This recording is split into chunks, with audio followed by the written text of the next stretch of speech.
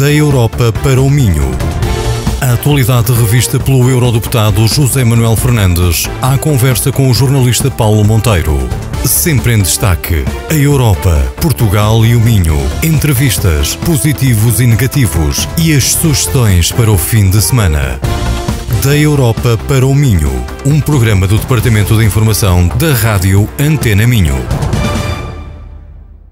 Muito bom dia, bem-vindos a mais um programa da Europa para o Minho, um programa, uma conversa aqui todos os sábados com o Eurodeputado José Manuel Fernandes. Durante uma hora, os temas da atualidade do nosso Minho, nosso país e da nossa União Europeia vão estar aqui em destaque. Hoje vamos falar de saúde.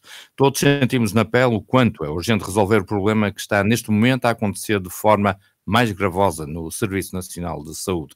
É um dos principais focos deste desestabilizadores na nossa sociedade e está a prejudicar muito os portugueses. Por isso, o programa de hoje vai ter como convidado Carlos Cortes, bastonário da Ordem dos Médicos.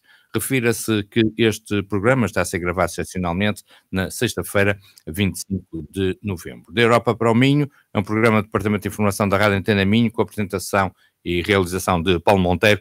A sonoplastia essa está a cargo de Manuel Pinto. Da Europa para o Minho. Mais uma vez, bem-vindos a mais uma edição do programa da Europa para o Minho, um programa de informação, debates e entrevistas na Rádio Antena Minho. No nosso programa de hoje trazemos à Antena um tema que preocupa e ocupa o cotidiano e a todos. O estado caótico em que está o Serviço Nacional de Saúde. Para conversarmos sobre este tema, que todos os dias é capa de jornais, temos, como sempre, o Eurodeputado José Manuel Fernandes e o bastonário da Ordem dos Médicos, Carlos Cortes. Muito bom dia, muito obrigado por ter aceitado o nosso convite, Sr. Bastonário. É um gosto tê-lo neste nosso programa. Muito, Muito bom, bom, dia. dia. Cumprimento, cumprimento a todos, cumprimento o excelentíssimo uh, Eurodeputado Dr. José Manuel Fernandes e, e, agradeço, enfim, este, este convite, este honroso convite, uh, no momento que é verdade, e referiu, particularmente difícil uh, da saúde em Portugal. Nós hoje temos o Congresso do Nacional da Ordem dos Médicos e também deixe-me assinalar uh, o dia de hoje, que é um dia importante para os médicos. Uh, hoje, a Ordem dos Médicos faz 85 anos, tem 85 anos de existência e estamos a festejar, enfim, uh, este dia, que é um dia relevante não só para os médicos, mas também para, para a saúde dos portugueses e, e, e para todo o país. Muito obrigado. Muito obrigado. Muito bom dia também, José Manuel Fernandes. Muito bom dia. E é um prazer também discutir este tema, não só atual, como e essencial para os portugueses. Eh, e nós temos excelentes profissionais de saúde, digo sempre, temos boas infraestruturas, é preciso, do meu ponto de vista, eh, uma boa organização também e que cada um faça a sua parte. E eu considero que o governo tem a obrigação de fazer aquilo que lhe compete e não tem feito.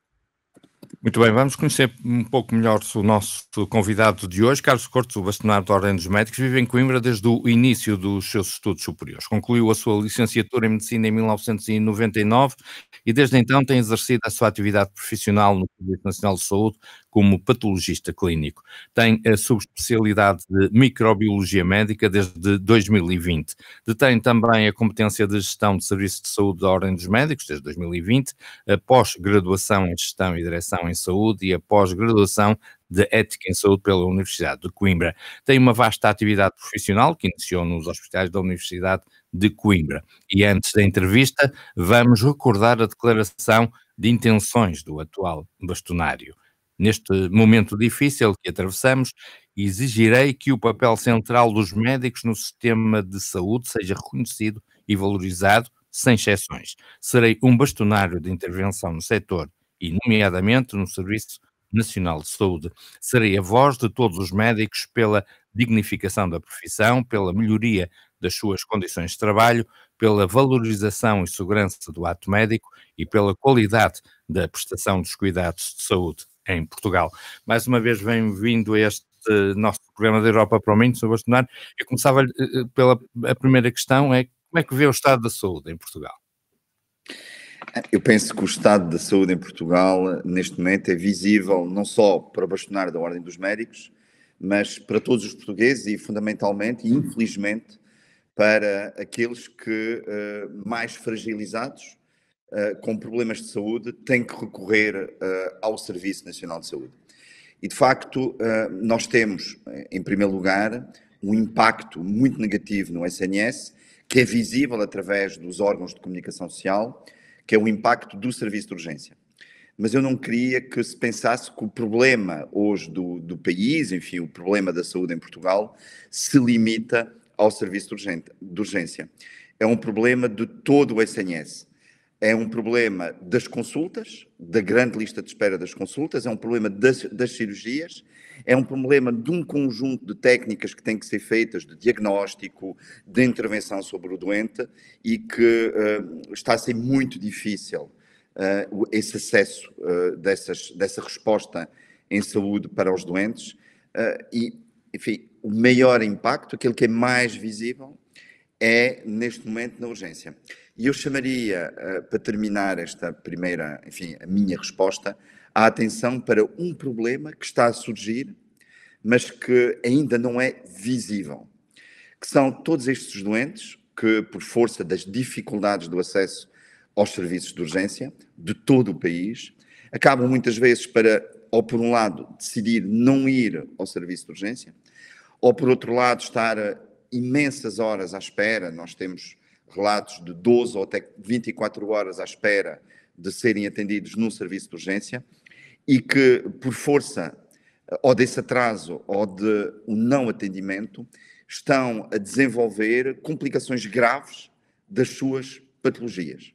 Estão a chegar neste momento aos serviços de urgência doentes em situação de emergência, em situação de limite de vida, em situações muito complicadas, uh, que uh, deviam ter sido tratados há uma ou duas semanas, mas como não tiveram resposta uh, do serviço de urgência, acabam por desenvolver complicações muito graves. o que eu quero dizer com isto é que o verdadeiro impacto daquilo que está a acontecer neste momento na saúde, vai ser visível nas próximas semanas, vai ser visível nos próximos meses, com muito mais gravidade daquela que nós constatamos hoje. E, eu sei que uh, fez recentemente uma viagem, uma visita a, a, aos distritos de, de, Braga e de Viana do Castelo. Nós já, lá fal, já falaremos sobre o assunto. Há uma questão premente também, é que sem médicos não há Serviço Nacional de Saúde. E uma frase sua. O que, é que, o que fazer para haver médicos e, consequentemente, Serviço Nacional de Saúde? Sim, eu refiro-me a essa frase num contexto muito especial, em que eu sou bastonário da Ordem dos Médicos Uh, e, neste momento, os médicos estão a desenvolver uma intervenção, um, um grito de alerta uh, muito concreto ao Ministério da Saúde. Mas, obviamente, que sem médicos não há Serviço Nacional de Saúde, sem uh, enfermeiros não há Serviço Nacional de Saúde, sem um conjunto de outras profissões, de técnicos, há uma grande equipa de profissionais de saúde, que é muito respeito, Uh, que está a ter dificuldades. Os próprios enfermeiros, neste momento, também estão a entrar num período de contestação. Eu sei das imensas dificuldades que, por exemplo, os assistentes operacionais ou os assistentes técnicos, são os administrativos uh, dos hospitais e dos centros de saúde, das imensas dificuldades que eles estão a atravessar. Portanto, há aqui um conjunto de aspectos uh, que espelham uma transversalidade de problemas de todas as profissões, tem impacto muito grave, obviamente, sobre a profissão médica, mas sobre um conjunto de outras profissões. O que tem acontecido, infelizmente, é que o Ministério da Saúde, ainda me recordo muito recentemente ter estado numa reunião com o diretor executivo do SNS, o Dr. Fernando Araújo, que referia um conjunto de investimentos para o SNS. Eram sempre dezenas de milhões para a reestruturação de uma urgência, para a aquisição de um determinado equipamento, mas esqueceu-se de referir um qualquer investimento, mesmo que não fosse financeiro, eh, até podia ser eh, um aspecto de inovação em termos de recursos humanos. Não se referia aos profissionais de saúde. E há, neste momento, muita gente no Ministério da Saúde que pensa que o SNS se pode desenvolver sem profissionais de saúde. Ora, queria aqui também recordar uma frase do Dr. António Arnaud, que eu tive, enfim, o prazer de conhecer nos últimos anos da vida dele, que referia repetidamente que o maior valor do Serviço Nacional de Saúde são os seus profissionais. E isso é verdade. Sem profissionais não há uma resposta adequada em saúde. Basta ver aquilo que aconteceu na pandemia. Eu queria recordar a todos, aos nossos ouvintes, que uh, na pandemia, quando a pandemia surgiu, apareceu, quando o vírus entrou em Portugal, Portugal não estava preparado minimamente para uma resposta adequada à pandemia. Não havia um conjunto de equipamentos absolutamente necessários para essa resposta. Mas mesmo assim, os profissionais de saúde uh, foram para a linha da frente, uh, entregaram-se à causa da luta contra a pandemia e Portugal, enfim, com, até com, com resultados bastante aceitáveis e, e muito positivos, conseguiu virar a página da pandemia. Portanto, provou-se que mesmo sem condições materiais, mesmo num ambiente de, devo dizê-lo, de uma profunda desorganização do Serviço Nacional de Saúde, os profissionais de saúde foram absolutamente decisivos para ultrapassarmos aquele momento negro. Ora, se não apostamos, se não investimos nos profissionais de saúde, também não estamos a investir no SNS. O governo diz que eh, investe mais, que o orçamento para a área da saúde aumentou muito. Eu sei bem que muitas vezes aquilo que é colocado no orçamento depois eh, não é executado. Mas a pergunta é: como é que é possível que se tenha chegado a um estado de degradação desta natureza, de, com as consultas em atraso, cirurgias em atraso, diagnósticos que não são realizados, as urgências num caos. Isto vai ter um custo brutal de recuperação? É uma pergunta. Eh, e também eh, uma opinião minha, e para que comentasse, eh, como é que se chega aqui e agora como é que saímos daqui? Porque há muito trabalho, no fundo, também a recuperar, e é a saúde dos portugueses que está em causa, e há um investimento que não tem sido feito, que vai ter repercussões negativas mais à frente. Eu não me admiraria nada que alguns índices eh, que nós tivemos positivos eh, e conquistas comecem a piorar e alguns indicadores mostrem que há eh, doentes que já não se vai a tempo, por exemplo, na sinalização e na, possibilidade de alguns tratamentos, porque já se foi tarde demais. Muito bem. Nós temos que entender que a medicina, que os cuidados de saúde são um bem que os portugueses têm, que o mundo tem, que está em, em permanente desenvolvimento, está em permanente crescimento.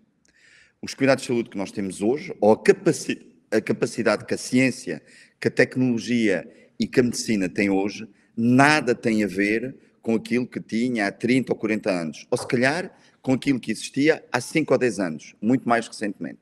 Uh, ainda bem que há um, um desenvolvimento absolutamente exponencial da ciência ao longo dos anos que permite nós termos mais doenças diagnosticadas, que permite que tenhamos mais tratamentos para aliviar o sofrimento das pessoas, que uh, se consiga uh, evitar muitas vezes a morte das pessoas, muitas delas hoje com 70, 80, 90 e até 100 anos, uh, não, estaria, não estariam com certeza vivas há 20, 30 ou 40 anos atrás.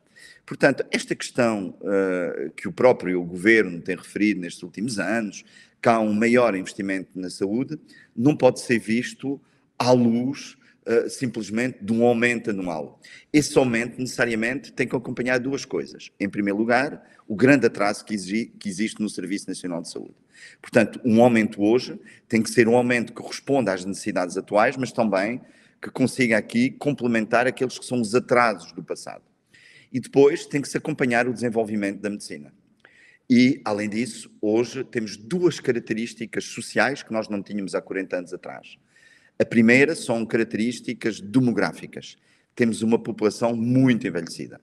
Uma população muito envelhecida, uh, Portugal é dos países da OCDE com o maior índice de envelhecimento, mas também com o maior índice de doença depois dos 65 anos. Portanto, isto cria, obviamente, uma pressão sobre o sistema de saúde, na sua globalidade, e sobre o Serviço Nacional de Saúde, uh, obviamente. Uh, depois, a questão que o senhor eurodeputado me colocou é como é que saímos daqui. Confesso-lhe que eu não tenho propriamente as respostas uh, porque as respostas estão nas mãos do ministro, do ministro da Saúde. Obviamente que há aqui linhas de pensamento para nós reformularmos, reestruturarmos o Serviço Nacional de Saúde, recuperarmos, enfim, este atraso inexplicável deste, destes últimos anos. Mas eu estou muito preocupado sobre aquilo que uh, o Ministério da Saúde está a fazer neste momento. E quando eu digo neste momento, estou-me a referir a este momento destas últimas semanas, em que nós temos um governo em suspenso. Uh, e aquilo que eu desconfio é que o Ministro da Saúde está neste momento a empurrar o problema para o próximo governo. Aliás, eu não tenho dúvidas que isso esteja a acontecer. Uh, e, nomeadamente, enfim, nesta contestação que os médicos estão a desenvolver neste momento, uh, como saberão, estão a recusar fazer mais do que 150 horas, que é aquilo que são obrigados a fazer, uh, legalmente obrigados a fazer, 150 horas em trabalho extraordinário. Uh, muitos médicos fazem mais de 1000, 1100 e 1200 horas em trabalho extraordinário. Uh, anualmente. E, portanto, muitos deles chegam a uma altura de exaustão, de cansaço, em que não têm condições de segurança para eles e para poder tratar os seus doentes. Eu imagino que ninguém queira ser operado por um cirurgião que esteja em estado de exaustão, que tenha acumulado durante a semana, além do seu período normal de trabalho de 40 horas, mais, e atenção, é aquilo que acontece no país, um, dois, três ou quatro períodos de urgência de 12 horas suplementares. Mas, enfim, eh, esta premissa legal das 150 horas acaba em janeiro. Em janeiro, o contador volta a zero. E, portanto, esse número de horas volta, uh, volta a ser contabilizado, o número, as 150 horas. E, portanto, os médicos vão começar uh, novamente a ter que fazer aquelas horas suplementares a que são obrigados até um limite de 150 horas. Portanto, tudo indica que só a partir de março, abril, é que o Serviço Nacional de Saúde, em termos de resposta médica do seu trabalho suplementar, uh, só a partir dessa data é que vão voltar a ter dificuldades. E o que eu sinto da parte do Ministro da Saúde neste momento, devo dizê-lo, nas várias, nos vários contactos que nós temos tido com o Ministério da Saúde, uma inexplicável e preocupante despreocupação em relação àquilo que está a acontecer. Parece que o Ministro da Saúde entrou num período de negação, num período de despreocupação e até num período de, de normalização uh, da, dos problemas. Parece que os problemas do SNS já são para o ministro uma situação normal. Portanto, não há necessidade nenhuma de os resolver. Eu devo dizer que tenho muito pouca esperança uh, que as negociações com os sindicatos médicos, que estão a decorrer neste momento, uh, cheguem a bom porto porque não vejo vontade da parte do Ministro da Saúde, nem nas negociações que tem com os sindicatos médicos, nem nos vários dossiês, que são dossiês técnicos, que não implicam aqui nenhum esforço financeiro da parte do Ministério da Saúde, dossiês técnicos que tem com a Ordem dos Médicos, não vejo nenhuma vontade do Ministério da Saúde de os querer resolver. Sr. Bastomar, nós temos número de médicos suficientes. Um, por outro lado, não está a haver, tal como já existiu, existe eh, com os enfermeiros a saída de médicos eh, para outros Estados-membros eh, que têm muitas melhores condições. Como é que também neste caso nós fazemos, se não houver número de médicos suficientes, nós não temos condições para aumentar o número de médicos? De quem é esta responsabilidade também?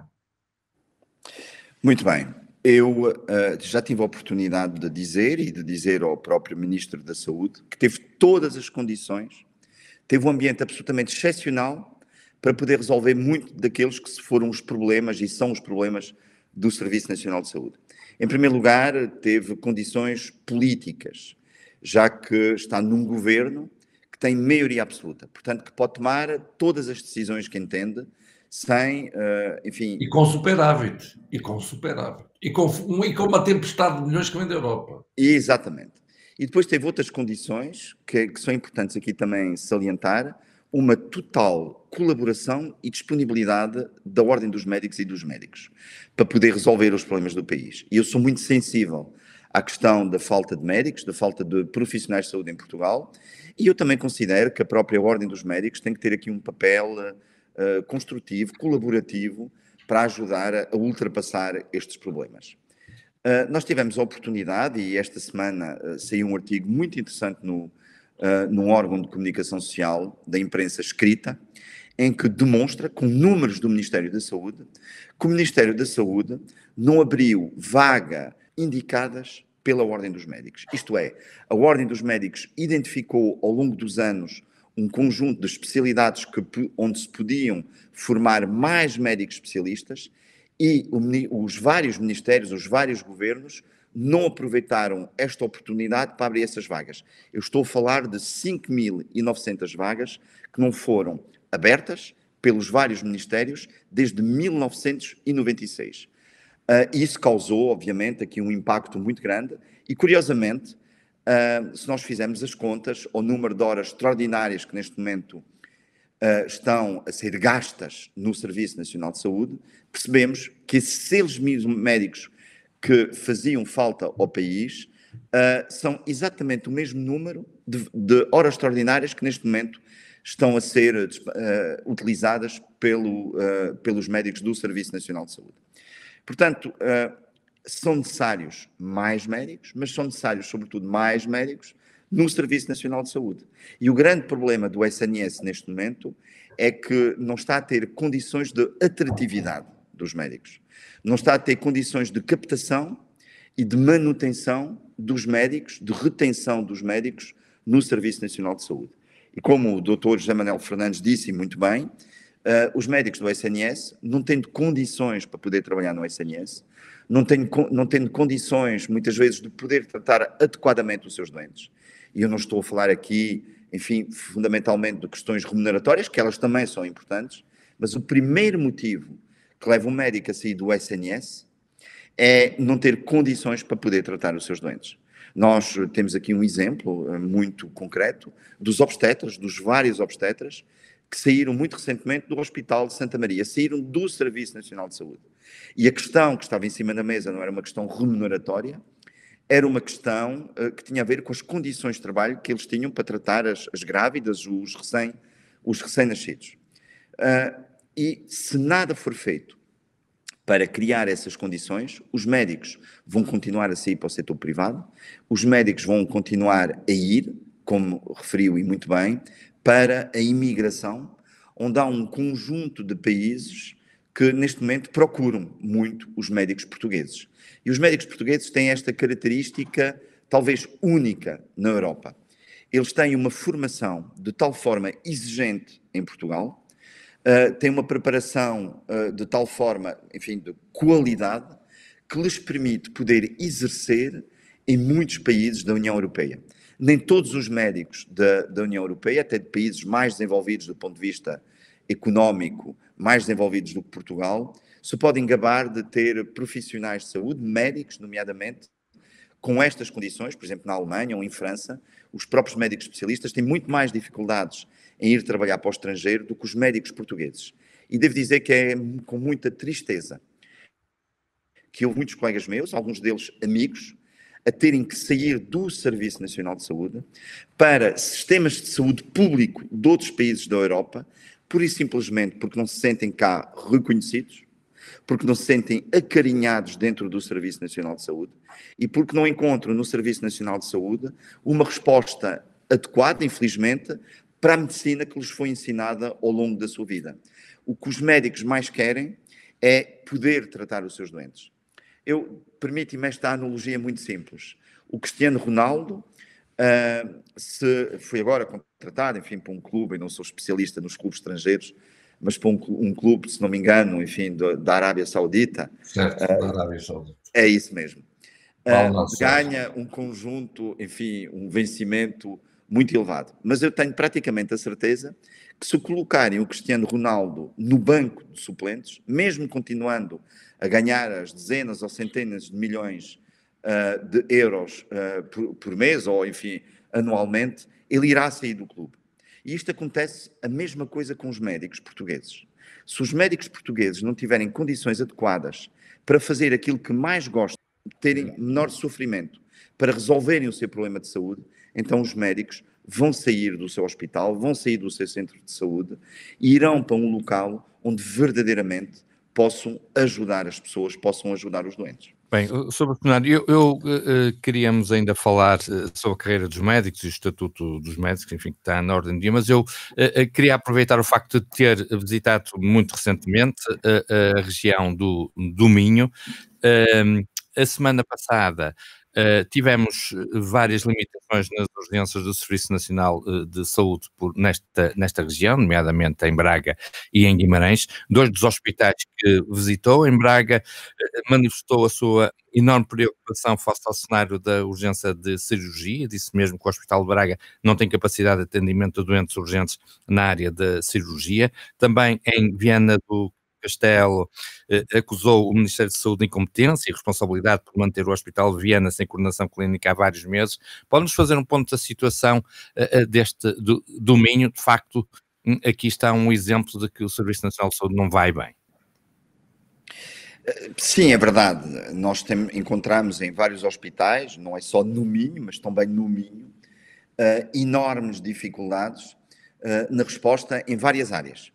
Uh, falou da cirurgia, e é verdade que aqui a cirurgia tem uma enorme dificuldade de resposta, uh, nomeadamente em Braga, mas também a medicina interna, uh, nestes dois hospitais, tem tido imensas dificuldades, a ginecologia obstetrícia, a pediatria, está a existir também aqui um impacto sobre, sobre os cuidados intensivos. Mas o que eu acho que estes hospitais têm que fazer, aliás, a direção executiva tem que fazer, é transmitir aqui uma mensagem à população de verdade. Uh, tem que existir transparência. Isto é, tem que uh, notificar a população muito claramente sobre a capacidade de resposta que o hospital tem naquele momento. E isso é muito importante. É muito importante para que os doentes possam evitar de se dirigir a uma destas urgências, de Braga, por exemplo, ou de Viana do Castelo, para um determinado problema de saúde e chegarem ao hospital e perceberem que não têm resposta para esse problema de saúde. E devo dizer que eu fico muito mal impressionado quando um hospital tenta esconder a realidade da sua capacidade de resposta. Porque isto não serve a população, não serve os vários intervenientes, eu quero aqui relembrar que a linha Saúde 24 é um deles, que direciona os doentes para as várias urgências, o próprio INEM, os bombeiros, o transporte de doentes, tem que saber exatamente, em cada dia, quais são as, as, capacidades de resposta das urgências. E está a haver aqui um processo uh, muito preocupante em que não existe esse rigor, não existe essa transparência dos hospitais e até da direção executiva. Aquilo que a direção executiva está a fazer, do meu ponto de vista, é extremamente errado no relatório, no plano que uh, divulga todas as semanas, julgo eu, à sexta-feira, portanto, hoje vamos ter um novo relatório, porque esse relatório não corresponde à realidade do país. E eu acho absolutamente lamentável estar a transmitir à população uma falsa sensação de segurança, pensando provavelmente que assim conseguem resolver os problemas do Serviço Nacional de Saúde. E eu acho que tem que se falar verdade às pessoas e falar a verdade às pessoas para as pessoas se poderem organizar e para se poderem dirigir para um serviço de atendimento urgente que verdadeiramente naquele momento possa dar uma resposta. Esconder a verdade não é um bom princípio e esconder a verdade das dificuldades do Serviço Nacional de Saúde neste momento pode ter consequências, como todos nós percebemos, muito graves. É verdade que não há condições de segurança no, na urgência de Braga para atender determinadas situações, nomeadamente as situações cirúrgicas, e também é verdade uh, que uh, no Hospital de Viana do Castelo também existem enormes dificuldades, nomeadamente, por exemplo, na medicina interna, que tem tido imensas dificuldades de, e, e dificuldades de resposta e de garantir aqui também a segurança dos utentes. Mas não havendo em Braga, não havendo em Viena, estando nós a falar de dois distritos com cerca de 800 mil pessoas, isto é um desastre, eh, na minha opinião. Isto é a falência do Serviço Nacional de Saúde e nós temos que ir a tempo de salvar o Serviço Nacional de Saúde. Eu diria que é urgente colocar nas urgências o Serviço Nacional de Saúde para, eh, no fundo, eh, o tratar-se.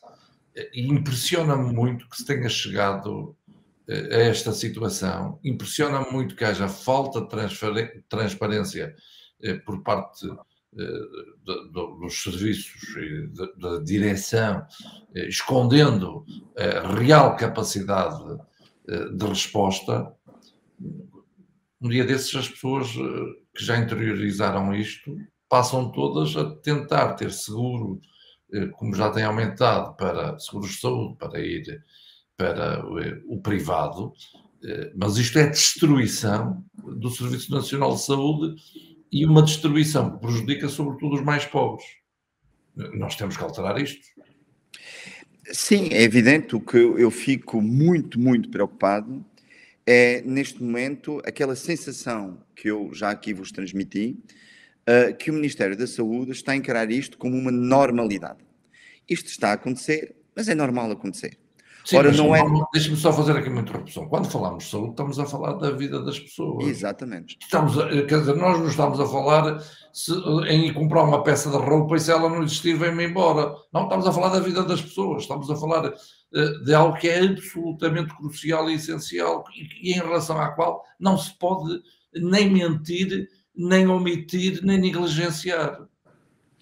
Eu, o que eu acho que neste momento o Ministério da Saúde está a fazer é tentar resolver um problema não com ações concretas, não com uma intervenção concreta. Eu tive a oportunidade de dizer várias vezes esta semana e na, e na semana passada que um acordo com os sindicatos médicos era algo de obrigatório, não era opcional, é obrigatório chegar a um acordo com os sindicatos médicos, mas infelizmente nós vimos que mais uma vez Uh, o, enfim, o ponto final nas negociações foi adiado, o ponto final enfim, positivo que possa atender às necessidades do Serviço Nacional de Saúde foi adiado. Eu estou em crer que a próxima semana vai acontecer exatamente a mesma coisa. Eu penso que o Ministério da Saúde se refugiou na dialética, no discurso, na retórica política para esconder um problema e tentaram resolvê-lo somente com a palavra. Ora, os problemas do Serviço Nacional de Saúde não se resolvem com intervenções públicas, não se resolvem com discursos, resolvem-se fundamentalmente com ações concretas. Ora, nós já percebemos que não há ações concretas. Aliás, eu até, se me permite, eu vou fazer aqui uma pequena inversão e colocar uma pergunta ao, ao excelentíssimo ao deputado. José Manuel Fernandes, que é, concretamente, desde que o Ministro da Saúde tomou posse, o que é que tem feito na saúde em Portugal? Eu fiz este exercício esta semana, não se sinta mal não, não saber responder, porque eu fiz um exercício esta semana... Mas vou fazer um comentário, mas vou fazer um comentário. Claro, claro, mas com certeza terá muitas dificuldades em, em responder. E terá muitas dificuldades porquê? Porque eu próprio fiz este exercício esta semana e não encontrei nenhuma medida concreta, nenhuma medida estruturante para o Serviço Nacional de Saúde. Eu não estou a falar de intenções e não estou a falar de projetos para 2024 ou 2025. Eu estou a falar de, de, de uma situação muito concreta, que é aquela que nós estamos a atravessar agora, aquela que nós conhecíamos há pouco mais de um ano atrás, o impacto, por exemplo, nas urgências da ginecologia obstetrícia, que levou à queda, veja bem, de uma ministra da Saúde.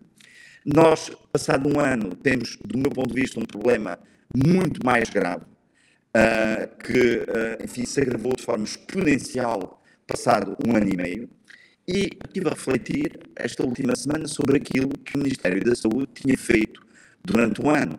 Em que área é que tinha concretizado alguma coisa que seja necessário e que possa ser positivo para o Serviço Nacional de Saúde. Confesso que eu, passado alguns dias, desisti, desisti porque não houve absolutamente nada. Das várias, dos vários pontos, e posso aqui confidenciar-vos que apresentámos em março, na primeira reunião que tivemos com o Ministro da Saúde, 20 pontos de resolução para o Serviço Nacional de Saúde. Nós sintetizamos, nós tínhamos 60 pontos e sintetizamos em 20 para sermos mais práticos. Dos 20, foram resolvidos zero. Deixa-me só fazer então um comentário. Eu já fiz esse exercício para todas as áreas. E a verdade é que eu não encontro, nestes oito anos de governo, nenhuma ação concreta de modernização do país, eh, de reforma. Há é muito um faz de conta, uma narrativa, habilidades, uma gestão eh, da informação, uma tentativa de mostrar uma realidade eh, que não existe. Mas na área da saúde eu tenho aqui uma surpresa. Eu pensava, sinceramente, estava convencido que o Manuel Pizarro, sendo médico, eu tendo-o conhecido aqui como eurodeputado, eu pensava, estava convencido que ele teria uma sensibilidade natural para estas questões e queria resolver esta situação e que não iria adiar à boa maneira eh, do, do, do, governo eh, que temos tido, adiar e fazer de conta. Estava convencido disso. Tem uma pequena discordância que pode ser uma esperança para vocês.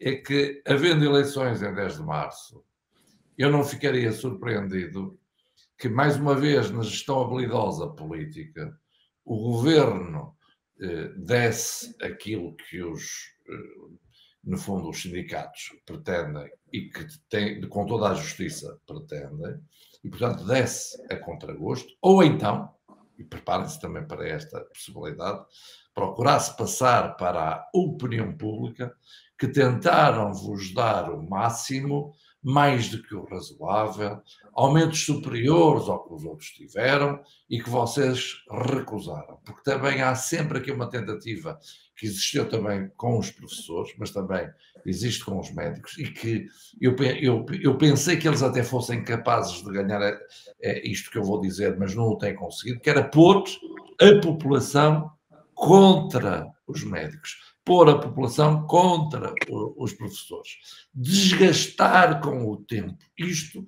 não tem acontecido e aí confesso-lhe com alguma surpresa, com alguma surpresa eh, minha, eu considero que a opinião pública, por exemplo, em relação aos professores e mesmo aos médicos, dois pontos e dois pilares essenciais têm estado do, do, do vosso lado e o governo enganou-se quando pensou que com o cansaço eh, vos venceria.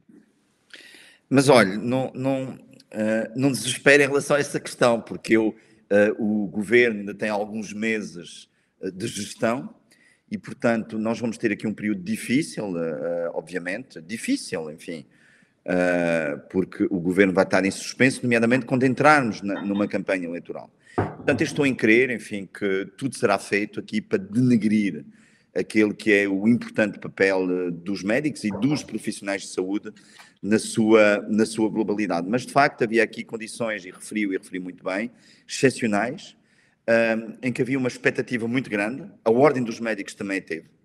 A Ordem dos Médicos teve uma postura, e é preciso nós termos a noção disto, uh, e eu próprio, de imensa e grande colaboração com o Ministério da Saúde. Nós tínhamos imensas reuniões, eu falava várias vezes por semana uh, como, ministro, uh, como Ministro da Saúde, mas confesso uh, uma grande desilusão. Uma desilusão em relação ao aspecto que teve a ver de promessas não cumpridas sobre o estatuto da Ordem dos Médicos, que é um, um, elemento absolutamente essencial para a defesa dos cuidados de saúde em Portugal e para a defesa do, do, do Serviço Nacional de Saúde em, em, particular. Nós temos aqui um conjunto até de, de aspectos de planos para fixar os médicos no Serviço Nacional de Saúde, de melhoria nas condições uh, de formação dos médicos, que também que é um fator de atratividade para os médicos se manterem no Serviço Nacional de Saúde, mas ao fim de seis ou sete meses, uh, desde a minha tomada de posse, eu chego à conclusão que verdadeiramente, uh, passado meio ano, quem não fez nada, quem não cumpriu com absolutamente nada de que se tinha, que se tinha comprometido, nomeadamente com a, com a Ordem dos Médicos, portanto, eu estou desiludido, por um lado, e estou sobretudo preocupado porque o foco da Ordem dos Médicos, e eu gostava de sublinhar, é a defesa dos cuidados de saúde em Portugal, a defesa dos doentes. E é isso verdadeiramente que nos preocupa e a mim, como bastonário, que me move, enfim, na minha intervenção uh, pública e na minha intervenção uh, institucional. E uh, permite-me, enfim, esta palavra mais forte, a gestão do Ministério da Saúde, uh, do meu ponto de vista, tem sido um absoluto desastre que está à vista de toda a gente. E aquilo que continua a ser para mim incompreensível é perante a situação que nós estamos a viver, uh, que nada seja verdadeiramente feito. Parece que se está à espera a empurrar o, o problema para o próximo titular da pasta da saúde. Muito bem, sobre o cenário, mesmo para terminar, uma última eh, questão, nestes 85 anos eh, da Ordem dos Médicos, que está em Congresso, e até amanhã a Ordem está a debater a carreira dos eh, médicos. Ontem mesmo afirmou que esta carreira médica está obsoleta. O que é que deve ser feito a este nível? Um, A, a, a, carreira médica, ou as carreiras médicas, como eram designadas uh, anteriormente, são um elemento absolutamente estruturante e sempre o foram da saúde em Portugal.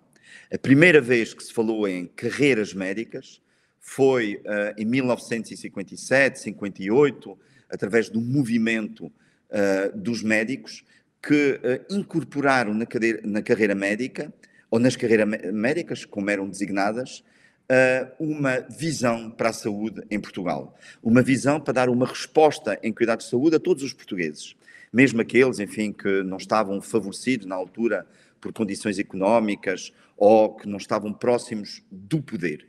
Portanto, para nós, a Ordem dos Médicos, esta questão da carreira médica é absolutamente essencial como elemento construtivo do Serviço Nacional de Saúde. E a carreira médica hoje é totalmente diferente daquilo que ela era há 10, 20 anos atrás, ou mais. Porque hoje nós sabemos que em Portugal há um setor privado que é muito dinâmico, que está muito mais capacitado do que estava anteriormente. Um setor social também em grande desenvolvimento. Mas há aqui também outras áreas que dão respostas em termos de cuidados de saúde que não podemos esquecer. Os médicos que trabalham uh, sob, sob, a tutela do Ministério da Justiça.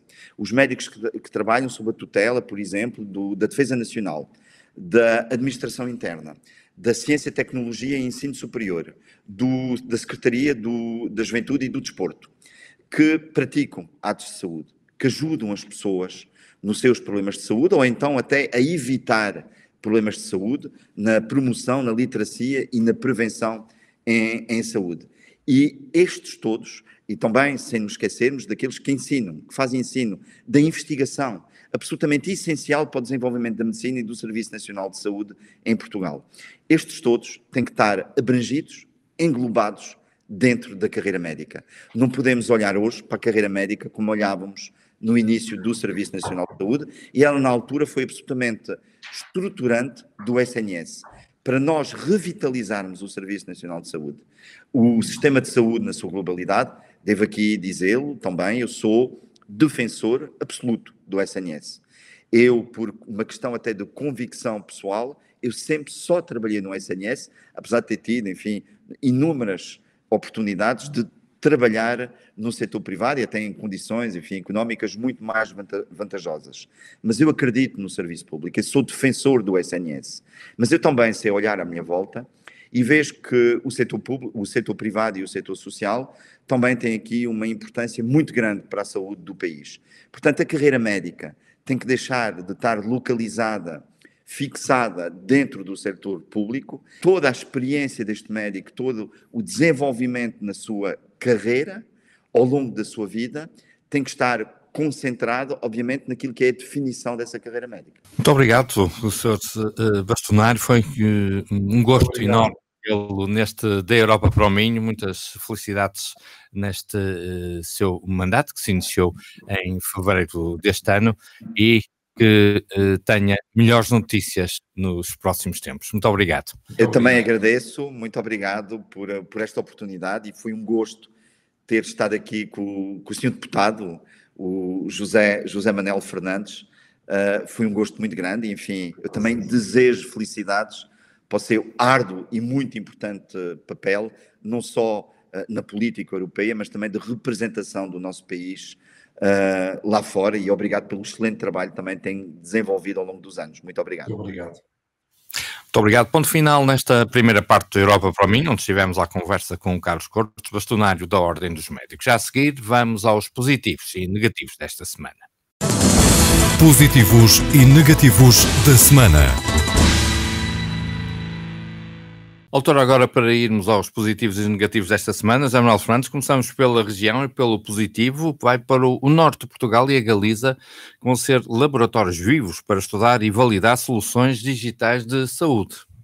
E a cooperação transfronteiriça é essencial, a inovação, a investigação, projetos piloto nesta área são importantíssimos, e ter um hospital da Santa Casa da Misericórdia de Ribadave e ainda o Hospital de Vigo, envolvidos neste projeto, onde a área das demências eh, também está presente, e, portanto, a saúde mental é absolutamente é crucial. é muito positivo, dá esperança e mostra que em conjunto se pode fazer mais e termos aqui entidades, até em termos eh, da, da sua própria gênese diferentes, mas importantes, são eh, essenciais. E aqui uma palavra também para o setor social na área da saúde, que tem feito um trabalho muito importante.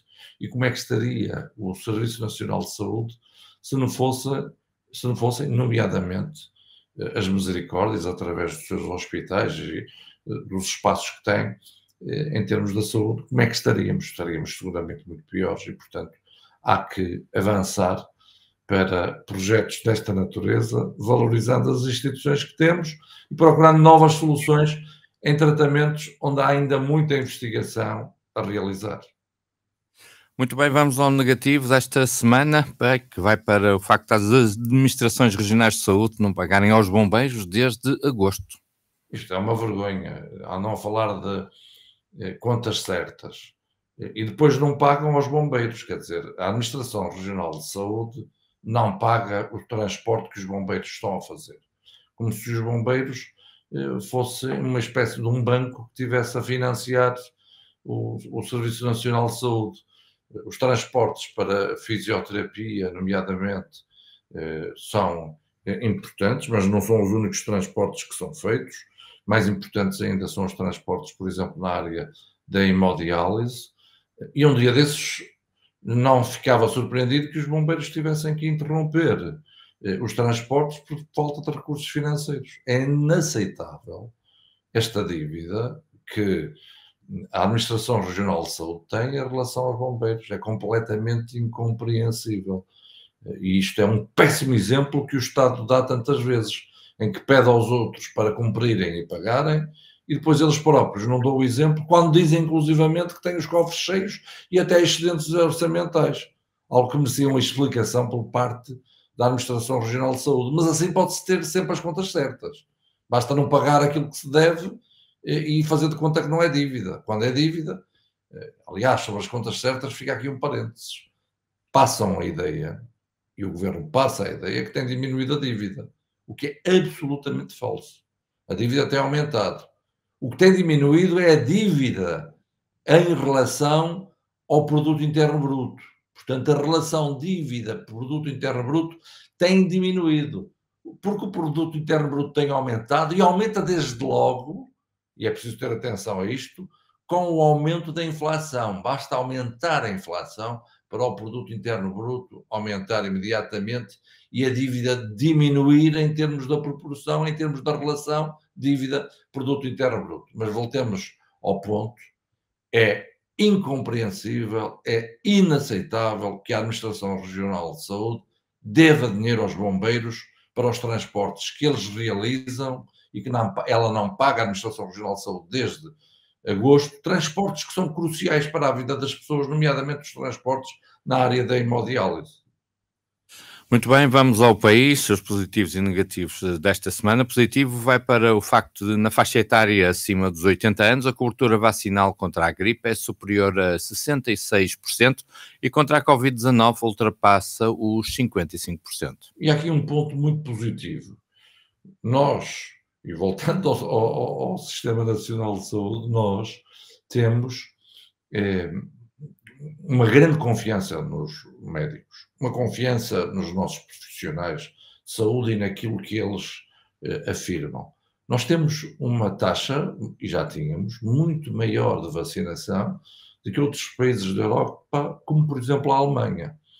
Eh, e hoje esta taxa de vacinação, ela também ela superior a muitos países da União Europeia, é este mesmo reflexo, isso tem este significado. E é positivo, porque nós já temos muita gente eh, com defesas, a vacina ajudou a termos defesas para eh, o Covid-19, e no fundo agora há também aqui um reforço. Eh, é positivo, eh, e estou certo que as consequências negativas eh, da Covid-19 eh, ficam desta forma diminuídas, ainda que muita gente esteja com mazelas eh, e em dificuldade face aos efeitos negativos da Covid-19 e há muito tratamento a se fazer nesta área da recuperação.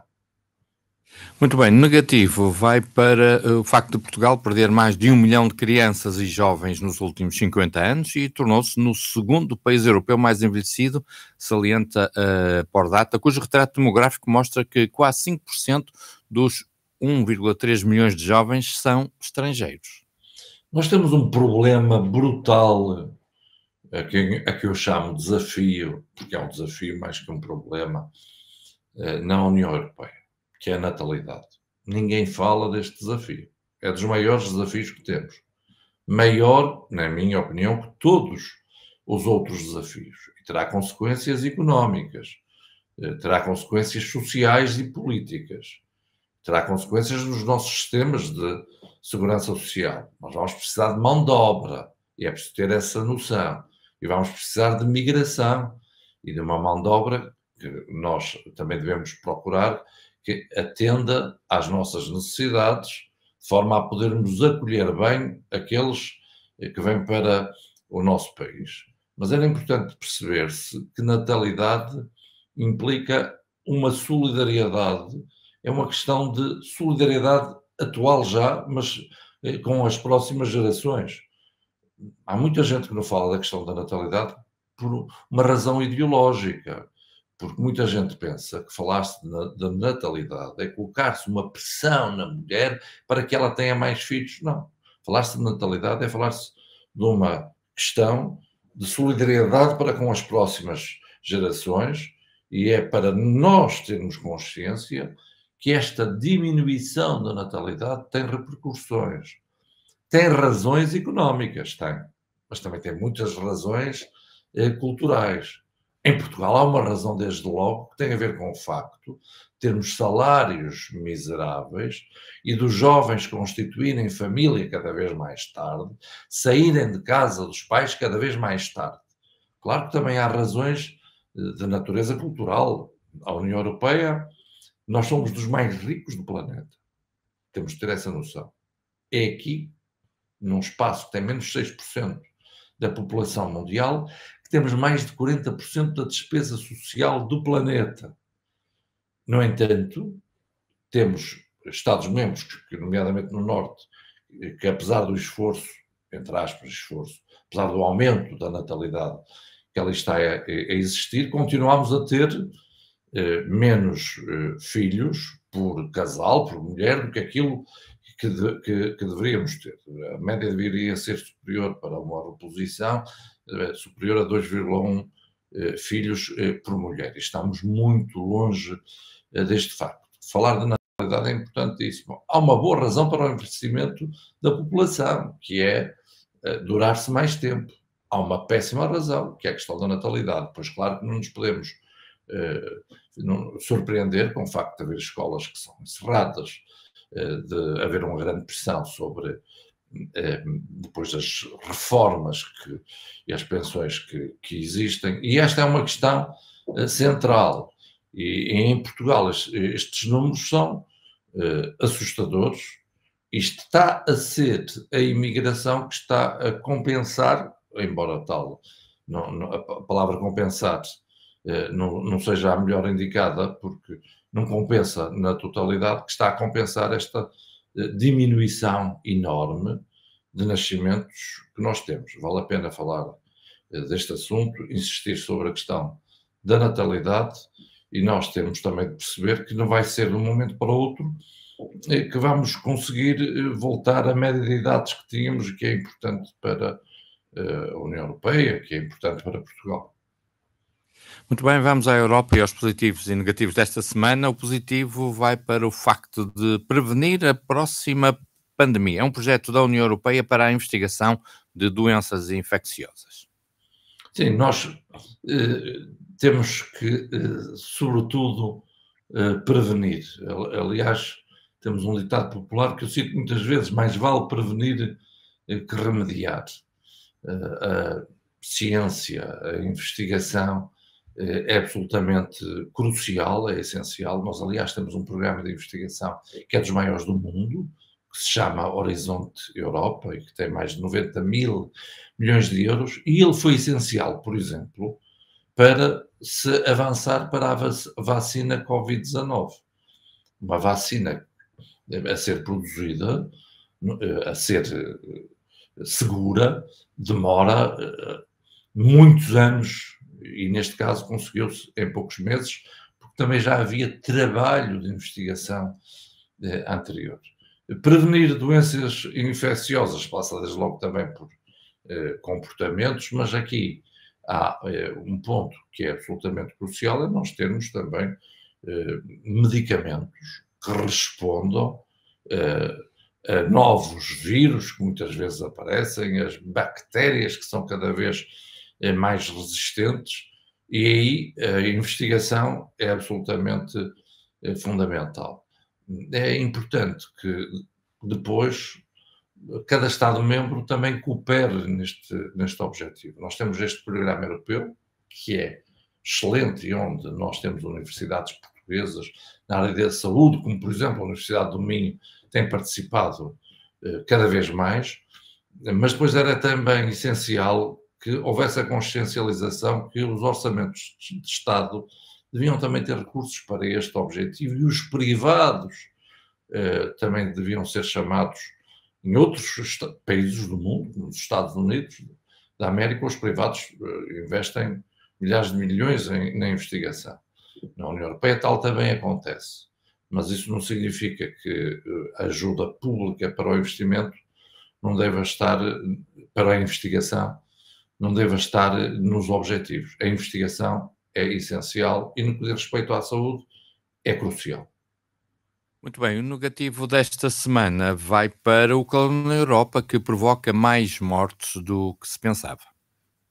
Provoca isto, as alterações climáticas uh, são uh, um dado adquirido. Uh, os negacionistas não têm razão. Assistiremos cada vez mais a fenómenos extremos isto tem implicações.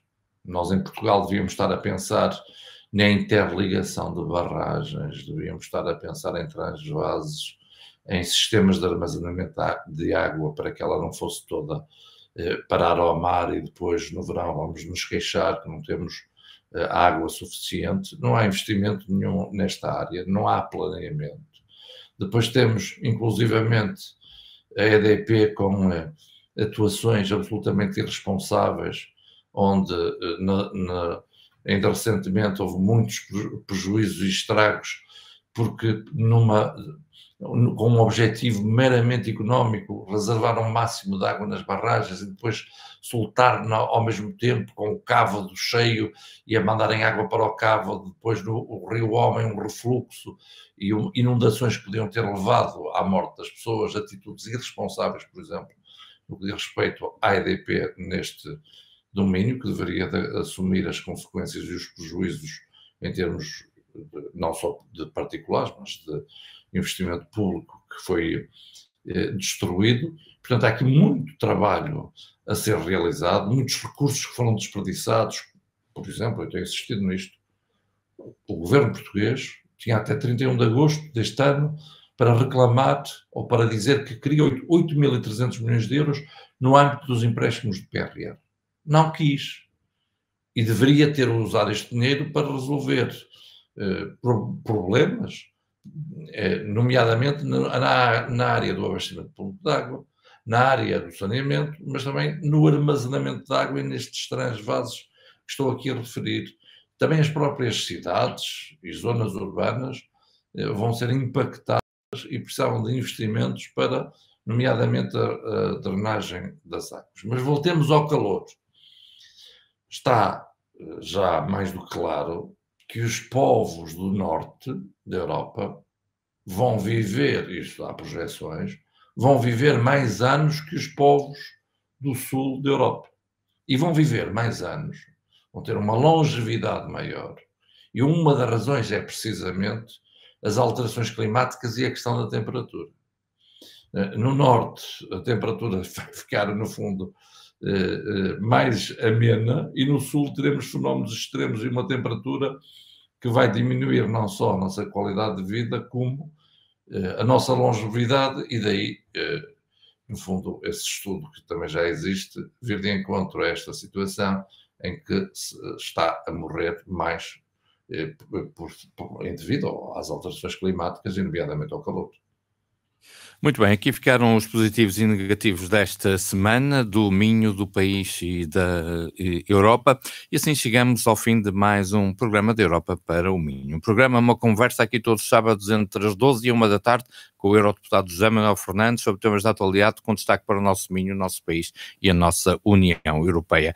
Hoje tivemos como convidado especial Carlos Cortes, bastonário da Ordem dos Médicos, e recordo que este programa está a ser gravado excepcionalmente uh, sexta-feira, 25 de novembro. Da Europa para o Minho é um programa do Departamento de Informação da Rádio Antena Minho, com a apresentação e realização de Paulo Monteiro, a sonoplastia esteve a cargo de Manuel Pinto. Gostamos de estar consigo, já sabe, marcamos encontro de hoje, oito dias neste mesmo horário nesta mesma estação, a sua Antena Minhos. Manuel Fernandes, muito obrigado, um abraço e um até, abraço.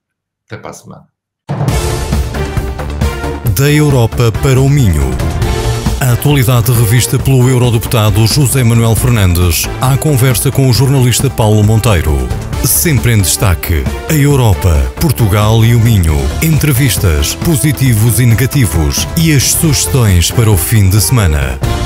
Da Europa para o Minho, um programa do Departamento de Informação da Rádio Antena Minho.